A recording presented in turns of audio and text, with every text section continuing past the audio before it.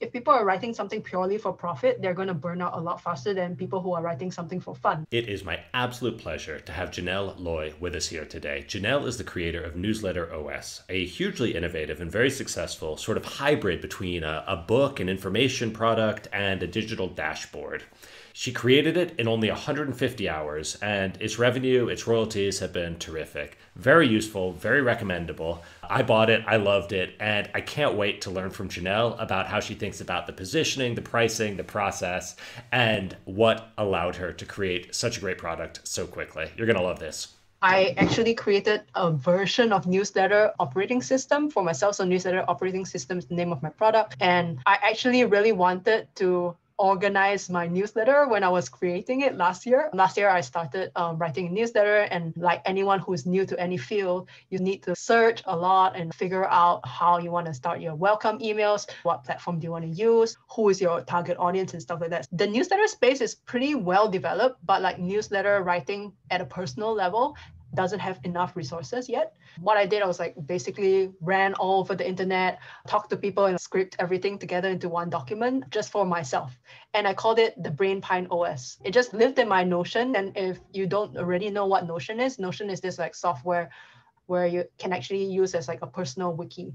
I think that's the best way to um, describe it, but it's like an all-in-one workspace where you can keep documents, you can keep files, you can keep data and things like that if you have used Evernote, you, you would say like Evernote on steroids. Everyone that I know is using Notion these days. It's something that more and more people are familiar with. So yeah, I've basically created this product for myself. And one day I thought, hey, it's pretty valuable. Why don't I sell it? And that's like the genesis story behind my product. When we talk about pricing, I really didn't know whether people were going to buy it or not. So I actually did a silly thing and I sold it for $10. And $10 is probably like um, an okay price for a book but mine wasn't really a book. The reason why I created Newsletter OS is I wanted to make a resource that was actually valuable. I did think about making a PDF or making some sort of long form uh, thing, but I thought, hey, people who write newsletters are not going to want to have a sort of static document. They're going to want to have something that they can click into. They want to add their own information and stuff like that. So yeah, I started selling it off as $10 just because I didn't know the demand for it. And the $10 uh, thing sold out immediately almost immediately I was having my dinner and then poof, it was gone. Then I raised it to $15 and I left it at $15 for quite a long time. I had quite a lot of imposter syndrome when I started. So I was like, no one's gonna buy this if I'm gonna raise my price. Like, no one. But hey, you never know until you try, right? And actually, I just left it there uh, at $15 for a very long time during this time, I was working my product and I was putting a lot more stuff into it. Still relatively low word count and as the final product. But when you think about all the different steps about writing newsletter and things that you want to consider, it was a lot of information and like much more than anything that existed on the internet in one single place. So that was like the value proposition. And I started showing it to my friends um, who were like beta users. I always believe that you should actually show your product to like some people before you release it. If not, you can just promote a dud or like launch a dud and then you're just gonna fail. So I always like to have eyes on my products. So my friends were like, why are you selling this for $15? This is way too cheap. And I was like, no, I again told them, hey, uh, if I raise my prices, no one's gonna buy it. And they said, no, um, you should just try and raise it to at least like 29 or $30. So I'm like, okay, yeah, I raised it. And funnily enough, people continued to buy and then I raised it again to 39 and then I raised it again to 49 and people continue buying to this day. Um, I don't even promote it anymore. I don't even know where the people are coming from sometimes, but I'm selling like maybe one or two copies a day without doing any promotion. That's a pricing I mean, that, story. That's a good result. That's a few grand a month as pure passive income. And I'd assume if it follows the performance of what I've seen with my books, the more people who buy it, the more people will buy it because it fuels yeah. the recommendation loop. And something I loved about the way you wrote it, I was showing my screen a, a minute ago, but you show up and there's no justification. You're not saying this is why you should start a newsletter. You're just saying, I know you want to, here's how to do it. And because of the way you built it, it's straight into like, okay, you need to make this decision. Who's it for? You need to make this decision. What's your tone? These are the tools you can use. It's fiercely practical did that come naturally to you or was that something you had to work toward because like i bought it not because we were doing this interview i bought it months ago because i wanted it i was happy to pay the $49 i thought that was a deal yeah. how did you get to this point where you got rid of all the fluff that's normal to business resources. I'm not really a fluffy person. I'm very practical. Whenever I give a talk or presentation, I always want to make sure that there are actionable takeaways. And I think that's the philosophy of how I approach my product. The thing is that people who aren't newsletter writers wouldn't have bought that product. Or if even they weren't mo- remotely interested, they wouldn't have bought it, especially at this current price point at $49. Like, why are you going to pay $49 if you're not actually interested, right? So I think that weeds people out. And I'm very clear in my landing page in my copy. When I first started selling my product, I didn't even have a proper landing page. It was just like a Gumroad page. So I think that copy is more important than having a, a snazzy landing page. So yeah, that's just my view though. I think that's probably maybe the biggest thing. I built BrainPine OS for myself. So I've been storing all these little snippets over the months that I have created my newsletter and just didn't see the point in adding more fluff, I guess. Mm-hmm. And also, there are some people who have written like really long articles on different parts of writing a newsletter.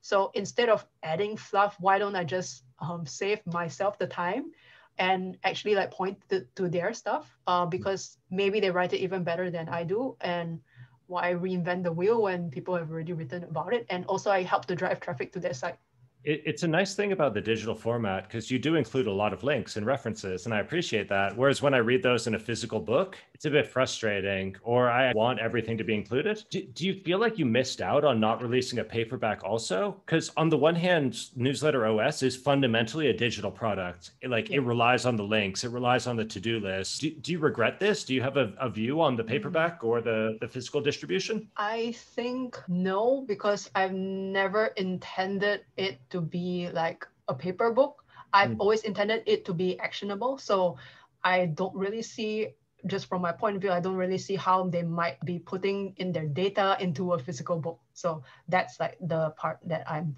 thinking maybe not. But if I had more time, maybe I would have written a guide for writing and starting a newsletter, especially now that the newsletter uh, space is heating up with uh, all the acquisitions and like Twitter moving in and stuff like that. But I think at the moment I'm happy with it, and I see that there's still the opportunity for anyone who wants to um, write a guide to starting a newsletter to start one, but definitely not like a full scale book like newsletter writing a guide for dummies and it's 200 pages because that's just too much information now for people who maybe are feeling like content overload the value per page was unbelievable. And I also saw that quite recently you released an updated version. And yeah. that's something that's quite easy to do with it with a digital version. It gives you that luxury. It's something that always frustrates me with paperbacks. It's like, ah, there's new knowledge. I want to put it out there. And it's such a chore. Paperbacks also have their virtues. Uh, I love them. I'm going to continue doing them. But I love what you did. And it was so in a way brave to decide like it's not a paperback because people hate that. You get an email and they say when's the paperback coming? or when's the audiobook coming? It feels terrible to say never. Yeah. And i, I love that you just said no this is how my book is best. It's best yeah. digitally. Deal with it. That's my scoping. Yeah.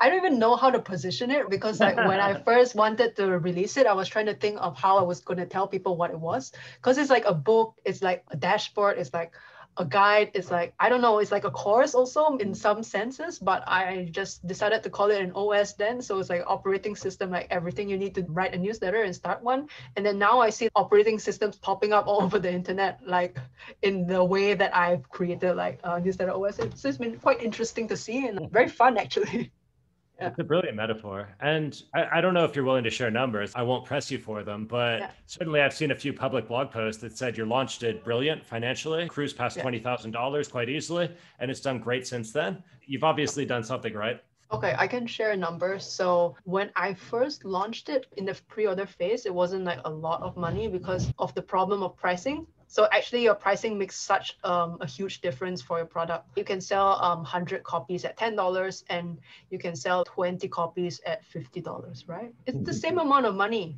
By the time I launched on Product Hunt, which was about one month after I launched my pre-orders, I, I hit $10,000. And then after that, I've chugged on from there. Some days that, that I had sales, I got like more volume in. So that was good. And today I'm at $32,000 for Newsletter OS.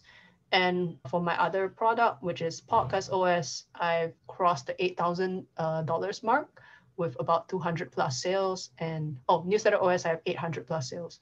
And with Podcast OS, I've just earned a lot more per product because I raised the prices from the start. And then I also closed an enterprise deal with uh, Podcast OS, people buying bulk license. And that's actually been really good for myself and my partner. So yeah, like the whole OS thing has been like really lucrative. I don't really like to share numbers publicly on Twitter anymore these days without context, uh, without the larger story. But like here is like perfectly okay because like it shows the journey. Right.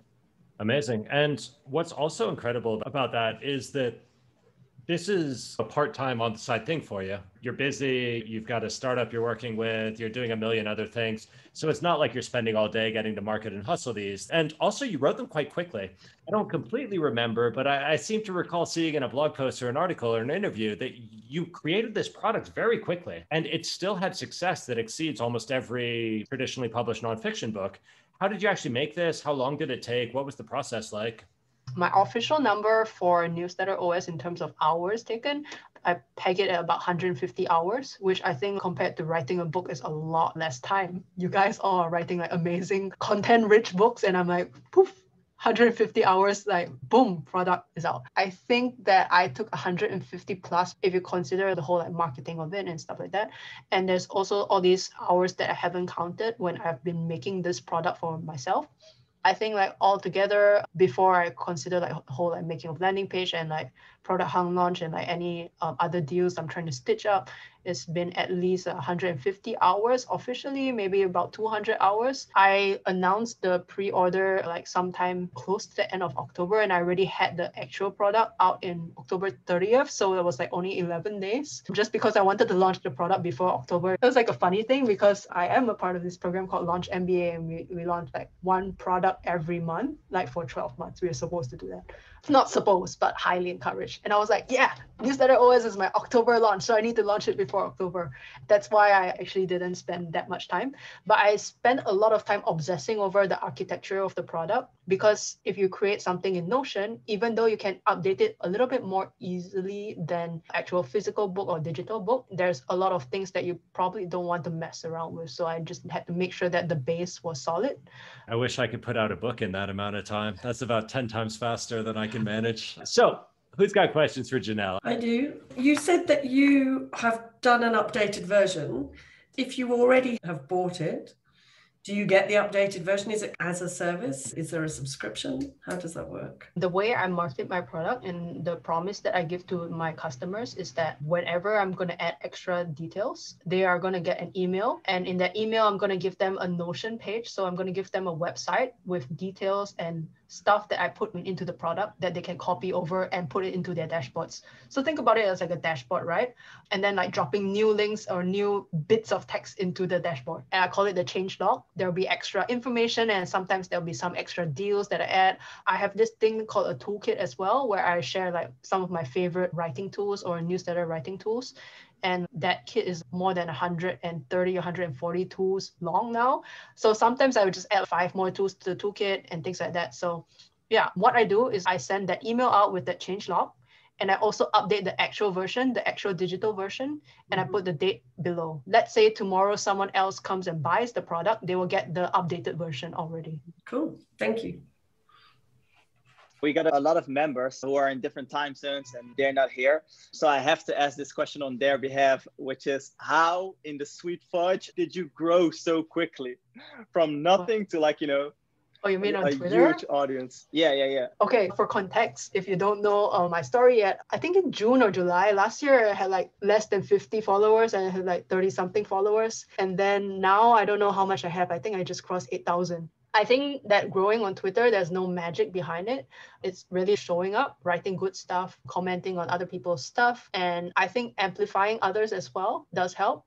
I think there's a really good formula to growing on Twitter, and that's really firstly being interesting. So, writing interesting stuff, doing interesting stuff, and saying interesting stuff. If you feel like you have nothing interesting to say, which I think your group doesn't have a problem with because you're all writers, then summarize other people's work, summarize interesting conversations that you're having. And uh, also, if you're writing a lot of long form, try to atomize that content and make tweet threads. I think those like really help to grow. And if you are good with graphics, try to bring some like graphic elements to your writing. So I think you really need to try to be interesting by letting your personality shine through. So it's not enough to just tweet like smart sounding things. Be yourself, and then you will find your tribe. So you will like attract like-minded people to yourself when you're just like sharing your ideas with the world. Another thing that I always say is be interested in others have conversations in the DMs, have conversations with people that you're interested in learning from, and always make sure that when you're DMing people, you are, oh, DM is direct message, so that little mail icon Twitter thing, just in case. Make sure that you're always complimenting their work and like sharing something that you can give value to their life instead of just like asking them a whole essay long of, hey, I wrote this long thing, I'm from this place, please give me your opinion, right? That's not the way that you make friends in real life. You make friends by introducing yourself, like sharing some common interests and stuff like that. So just bring the way that you make friends in person online to Twitter. And that's, I think, the fastest way to grow. Just lifting each other up. If you're growing within this group, find ways to amplify each other, find ways to find friends that even outside of your bubble that you can amplify and help each other grow as well. I think that's like an interesting way to approach growth. And so, I think that consistency as well. Outside of Twitter, or Actually, maybe more generally, I know attribution is sometimes difficult. It's tough to tell where exactly a sale came from. For me, Twitter is responsible for approximately 0% of my sales, wow. as far as I can tell. And almost everything comes from individual recommendations where someone has a problem and they go, ah, this book is the answer. And I've tried really hard to track it down over the years. And as far as I can tell, I do Twitter for fun now, not for business do you have a sense of where it weighs in or where the different proportions of sales come from? Are you running a newsletter? Is it all word of mouth? Was it all product hunt and then referrals from there? How does this break down? What drove the majority of it? I am a marketer, so I should actually know this more and I should know the details like like that, right? But I don't. I know that most of my referrals honestly come from Twitter. So Twitter is like a big growth engine for me. I also get a lot of sales from uh, recommendations, as you mentioned. I know my friends or my customers are like shouting me out in their different communities. So I'm like really thankful for that. Also get a few sales from paid communities that I'm in it's actually really interesting because some of the most engaged customers that I've found have been members of the paid communities that I'm in, and I'm quite active in some paid communities. Obviously, not just the one that I'm working in, which is on deck, but things like Visualize Value, and Trends.vc, and things like that. If you're an active member, and it doesn't even need to be a paid community, can even be like a Facebook group that's free. So long as you're providing value on a regular basis, people will actually notice you. And then, like when you do post your stuff, it converts into sales. I don't know if I have really gotten a lot of sales from uh, Google Organic, and that's actually something that I want to work on and like get more granularity into data. But yeah, I think like Twitter, also indie hackers, and word of mouth and paid communities has really driven my sales. I, I always see the Google and the organic stuff as the long term play. Like once you know the product's working, you can justify investing in that stuff and building out yeah. the content. But it's slow, you know. Sometimes it takes yeah. months or years to come back to you. So it's not how you start a product. I like the way you approached it. So you've seen also a lot of other authors. What do you think are the mistakes that people are making when they sit down to write something or create an info product that prevent them from finding success and finding revenue? I think the first thing is not actually understanding what their target audience wants or needs. So then I need to ask them to read the mom test. also like beyond not understanding why uh, or what the target audience wants like it's not even understanding who they're writing it for and why they're doing it. If people are writing something purely for profit they're going to burn out a lot faster than people who are writing something for fun. Like for me it's like totally been just for fun at first and then now i'm taking like a more business approach to it. But it has always been for me a product that enables me to get a path to inspiring other people to write newsletters and start their own things doing things like just for profit. That's like a mistake mistake. Uh, although it's not 100% bad, like you can do things for profit, but you just need to know that you're doing it for profit and that like you need to like steel yourself with like more willpower to see it through, I guess. It's just not the way that things work for me. What else? I, I did this funny thing called Mythbusters in a presentation that I did recently. And I, I think also following other experts' advice blindly is another big problem. Let's say whatever I say today, you decide to follow it to the T. Maybe it doesn't work for your audience, right? So don't follow my advice. You know your audience audience the best. Another thing is that sometimes customer feedback, you shouldn't take it to heart. some writers or info product um, owners or creators go and have these conversations and then they meet one like really crazy customer or a customer that's just not in their target audience and not it shouldn't be their target audience and then they feel like hey, this guy actually makes sense and I should change my product hugely just because of what one guy said. And maybe if it's just one person, you shouldn't take it to heart because if it's something that you've heard like multiple times, then yeah, you should see and investigate whether there's actually a problem with what you're creating and your message is not resonating with them. I think about that a lot when I get beta reader feedback. Someone says, I hate this, or this offends me, or I'm super confused. And I care because I don't want lots of people to get confused, but I'm not going to blindly obey one of their suggestions. I, I try to understand where's this person coming from. Like there, there was someone recently who was a traditional publisher and they, they read my my current book and they got annoyed because I'm, you know, not the most positive about traditional publishers.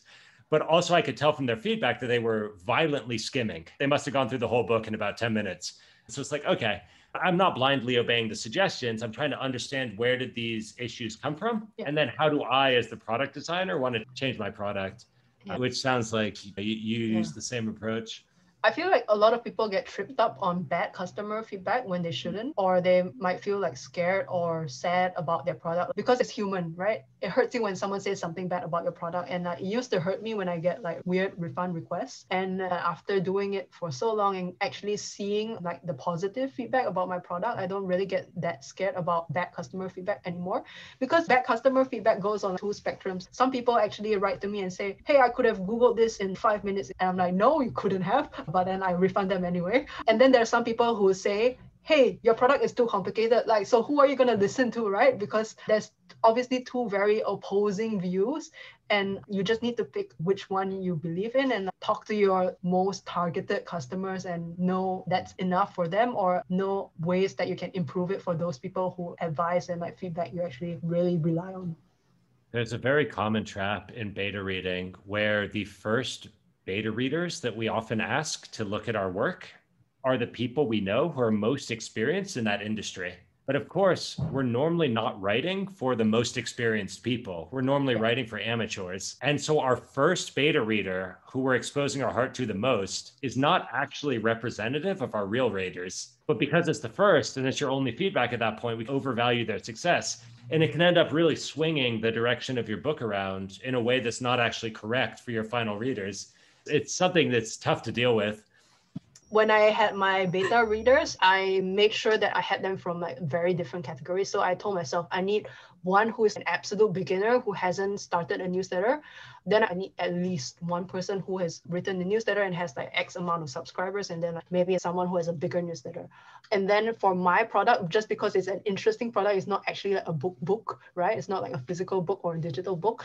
I needed to make sure that I had people who were newbies, like hadn't used Notion before, because I'm used to it and I know how to use it like inside out, but maybe others don't. And I also was very careful about that in the sense that I actually wrote stuff on like how do you even use notions, like how do you use the toggles, how do you use different parts. I even did a configuration guide on how you actually configure a book. And that's not something that you would probably do with a paperback. So I think that's like something interesting. I think if you cover like the different parts of the spectrum in terms of like experience levels when you write your book, you're gonna get like a lot better and like more well-rounded feedback some people say it's too complicated for them and i totally understand like maybe they feel overwhelmed by all the different tabs maybe they're used to reading linearly because my product is like definitely not linear it's like a choose your own adventure right you go inside and then you're like oh, this part uh, makes sense to me. And I sometimes tell people like you can skip these parts. Maybe these parts are not going to be useful for you right now when you're starting off, but as you become more advanced, then you might want to look into it. It's a choose your own adventure kind of thing. And I always tell mm-hmm. people like don't stress out because you feel like you don't understand one part. I try to dumbify it as much as possible and also include links to other resources in terms of technical stuff. And I made sure that my positioning on my landing page says that, hey, even if you're a total newbie, I've already given you like the guide and like the resources to follow on. It was quite a unique experience for me as a customer because I read a lot of business books, I read a lot of skill building books, and this was, you know, this is the homepage. Okay, this is what it does. It's going to help me create and run a newsletter. I need that in my business, right? The value proposition is clear. And then once I got it, it it's straight in there. This is the entire introduction. You know, what is this? Three sentences? This is the introduction. Then after that, it's like start doing stuff.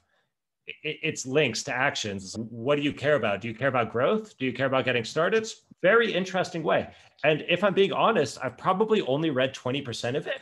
However, that was the 20% I needed. And I was delighted to have spent the $50 to get that piece of it because that was what unlocked me. I wasn't looking for two hours of leisure reading. I was looking for a solution to my problem.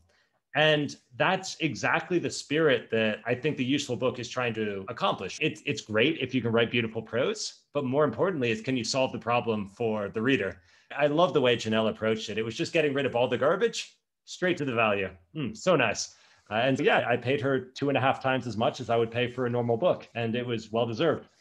I'm so curious which part unlocked you. Personally, it's very much like weekly process and also the tools. There's a million tools that exist for this. And I wanted someone to say, these are the five best tools. And I wanted someone to say, there's a million ways you could spend time on this. Here's a repeatable weekly process. And I got that and I was happy. And uh, I've been sending out my newsletter every week, more or less, with RJ's help sometimes since buying your product. So for me, like that was the result. I wanted to send a newsletter every week and now I can. We, we talked to April Dunford about positioning recently, and she talked a lot about, and also Alex Hillman talked about this. He's like, if it's a short book, describe its value in terms of saving time, because then people are happy that it's short. And so I, for me, the dashboard framing set that expectation where I wasn't surprised after I bought it. When you're building your next one, would you do things differently? What would you change between the first and the, the future products? So I did build my second product, which is Podcast OS. And what I changed is the pricing, like heavily. And also I leaned more on experts because I was writing something that I don't even know much about. Okay, now I know because I've like spent 100, 200 hours on that. I know how to make a podcast and I probably won't make one. But yeah, leaning on like the expert networks of like my friends, my partner Josh Kaplan, who used to run the podcast of Morning Brew. Really having a strong partner and knowing that you have a partner who can bring expertise to you and then my role in that product was ensuring that everything was like nice and orderly and we didn't commit the curse of knowledge. What the curse of knowledge is is that you're an expert in some field and domain and then you think that everyone knows everything that you already know about the product and like you're trying to explain it in like complicated ways. It's like when you start talking in acronyms about stuff or just assuming that people know something when they actually don't. I think that there's a big problem that a lot of experienced creators have. And even people in big organizations, they just assume people know what they're talking about. I think there's a lot of ways to combat that. And it's important. How, how did you deal with it? For podcast OS, I was a noob. I knew what I didn't understand, and I made sure that my partner explained it properly. For newsletter OS, I gave it to the newbies, and I say, hey, is there anything that's confusing? Eh, is there anything you don't understand? And in Notion, it's very easy because all I needed to do was to give them a copy of it, and they would just log in with their accounts and like comment on it. It's like your book review software, but a lot easier and more dynamic. And they can even put in their own content as well, which is really helpful these people are paid customers or they are people that are, are experts in the field that I actually trust. So with that, I actually changed the way I dealt with it, just collecting all the information for Newsletter OS by myself. And I had parts of it where my friends helped out. But that was like very few. That was like maybe 10%. And at the end parts where I felt I really, really needed someone to check my work. But in Pod OS, it was more collaborative. I got more people to contribute and then I gave them shout outs and things like that. I think getting more collaboration in for the product, but also knowing when to cut it off because you have your own deadlines and things like that. And sometimes people who promise you stuff are not going to deliver. So you need to be aware that you should set the deadlines earlier or you should have some backup plans in case people are on time and if you're working towards a really strict deadline. But in the case of, for example, my product, I can update it anytime. So it doesn't really matter. But you always want to jump out of the door with like your best product, right? You don't want to jump out of the door with like a half baked product and then you tell people, hey, I need you to update your entire thing. And people are like, what? Uh, I already spent like 10 hours putting in my podcast details or putting my newsletter details into this uh, thing. And then you're asking me to like throw that out and like put in a new thing. No, like people will be mad. But if you're doing small incremental changes, then they'll be happy about it. And then they see, hey, you're putting in the effort to actually improve your product on a quarterly basis or something like that. The updates are technically possible with kind of Kindle books and all of that, but you really can't force it onto people who have already read it. I mean, for Yeah. one thing, people only read the book once. So what they read is what they've got. But then on the other hand, if you force an update to the Kindle, which is technically possible, it deletes all of their notes and highlights, which just Yeah. completely upsets them. So Yeah. basically, you can release new versions for new customers, but you never really have a way, at least if you sell through Amazon, to update it for your existing customers. You just don't have direct access to them. And it's something Alex Hillman talked about as well with Tiny MBA, where he left Amazon because he wanted to be able to directly contact his customers. And obviously, you trade off certain scale and promotional benefits in doing that. But I do get envious every time I hear one of these stories about being able to just, like, someone received my book the other day and it had no glue in the binding. The pages were just like, it was just loose pages Oh, between a cover. And they left an angry review, but I can't even say sorry because I don't have their Yeah. email. Like, I would love to refund them. We called Amazon. Amazon's like, yeah, well, if they email us, we'll refund them. I'm like, they're not going to do that. They're mad Yeah. You know that's my only frustration and it does make me envious when you have a direct customer relationship Yeah, it's nice. A lot of my customers have become my friends, and I'm really thankful for that because I learn different things from them. Like like what I alluded to, like in the beginning of our call, right? Like we all are islands. There's so much that we can learn from each other. I teach them about newsletters. They teach me about other things in life. Jumping in real quick, Ole Peters from the London Mathematical Institute, about two or maybe three years ago, a topic that he worked a lot on, ergodicity, it really blew up. And one of the people I know, Luca, he made a, a Roam book on that. It's a little bit similar to your idea in the in the sense that it's non-linear. I'm just wondering what your thoughts are on that. We also have a few members in our community who, uh, who are also using that Roam book approach. Do you think that's a market that's going to be growing over the following years? I know Roam is a Roam cult. I'm not inside the Roam cult, so I don't know how they really operate, but I know that there's definitely a demand for that. I do think that I've seen I've been seeing an explosion in Notion products. So I'm not surprised if people start monetizing their Roam like information or like databases. I've tried Roam before and I think like Roam probably is really good for like network thinking. So I'm not so sure how useful a Roam book will be if it's not networked to the rest of your notes. I'm quite curious to see what a Roam book actually looks like now. But the good thing about having a, a Roam book is that you already have a captive audience that's willing to pay $15 a month for a productivity software. So you can definitely charge like $50 at least for your book. Like The nice thing about any useful book is that people are buying it for a problem. And if someone Yeah. has a problem in their life, they're paying money to solve it. And doubly so if it's a business problem. Like Kate's writing about business communication. If you can save them an hour of time, that's a steal from their perspective, right? Something that I thought about earlier on was that why don't you supplement your paperback books or digital books with some sort of OS and charge a premium for a bundle? I think that would be an amazing idea because a lot of your books are actually actionable, right? But they're like written as a guide. But what if you put a guide and like an extra resource? So then you can sell your resource on your own website, get full margin on that. And then you can even lead with your resource and use it as a lead magnet for your book, even. Just need creativity, which you all have. So I'm excited to see what you create. Ooh. I love it. And that also solves the Amazon customer relationship problem because if you have this wonderful digital add on, which is on your website, and people have to put in their email to get it, then that allows you to reach out to your customers. And it's crazy how this changes the profitability. Janel mentioned the difference between charging $10 and $50, but it's unbelievable. It's so much easier to double your price than to sell twice as many books. And Yeah. if you can find a way to justify that doubling of price where people feel like it's valuable and authentic, there's no better adjustment you can make to your business strategy. And then also, people take it seriously. When someone gives you a book and they're like, read this, you're like, I'm skeptical, unless they're a real trusted friend. It's just some person on the street, read this book. You're like, I don't think I will. Yeah. Let me ask you a couple bullet questions, real quick questions, quick answers, Okay. and then we'll thank you and let you go. So, what advice would you give to someone who's having trouble getting started and doing the work? Just start. Uh, um, just start and surround yourself with amazing people who will help you and encourage you when you get stuck. What about someone who's having trouble getting finished and putting it out there? They're doing the work, but they're scared to share it. Same advice. Surround yourself with um, amazing people. Show it to them and get their thoughts.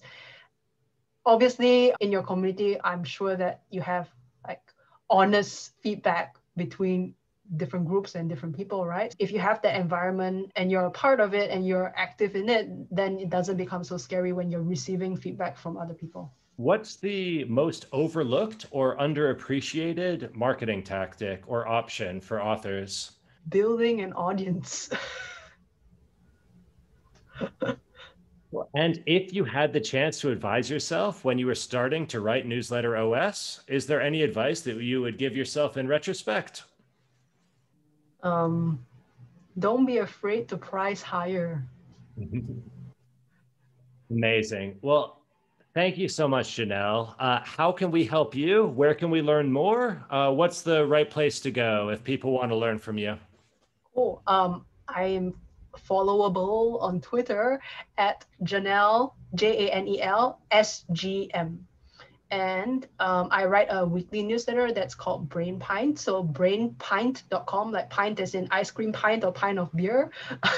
and then um, my product is Newsletter OS, which you can find at newsletteros.com or podcastos.co. Yeah. I'll include all the links below the video. And Thank you so much, Janel. Thanks, it's Rob. been an absolute Thanks, pleasure here. And I look forward to catching up in person someday soon. Yeah. We get it. Your pricing makes such um, a huge difference for your product. You can sell um, 100 copies at $10 and you can sell 20 copies at $50, right? It's the same amount of money.